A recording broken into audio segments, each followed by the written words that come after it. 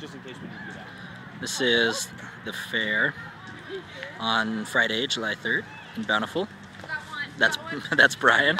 Okay, let's go. This is Secret Snowboarders here. What? Beautiful home we're hanging out at. Beautiful girl we're hanging out with. Whose car is this? Are you, sure, are you sure no one will care? Yeah. And this is the area where fireworks will be soon exploding.